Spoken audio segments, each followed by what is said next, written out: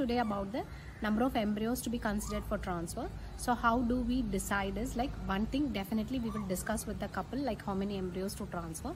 That will be decided upon the age of the women, how many years of like childlessness was there and uh, how many IVF failures before or else any IVF done before or is it the first time and the grade of embryos what is the stage of embryos for transfer?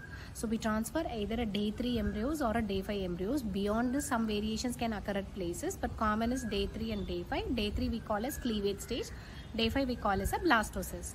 So when the woman is less than 37 years of age that means young with no like uh, problems before much and then no previous IVF failures, then you can consider two cleavage good stage embryos for transfer or a single blastocyst transfer.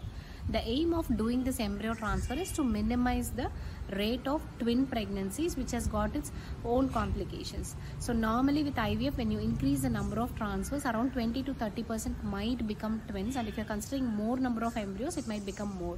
So to minimize the complications as well as to ensure a well healthy child and a safer pregnancy aim is to make a singleton pregnancy in which cases நம்ம இப்படி transfer பண்றோம் but if the women is more than 37 years of age because of the aneuploidy in the eggs. egg quality changes, so genetically chromosomal changes nadakkaradunala implantation comes down.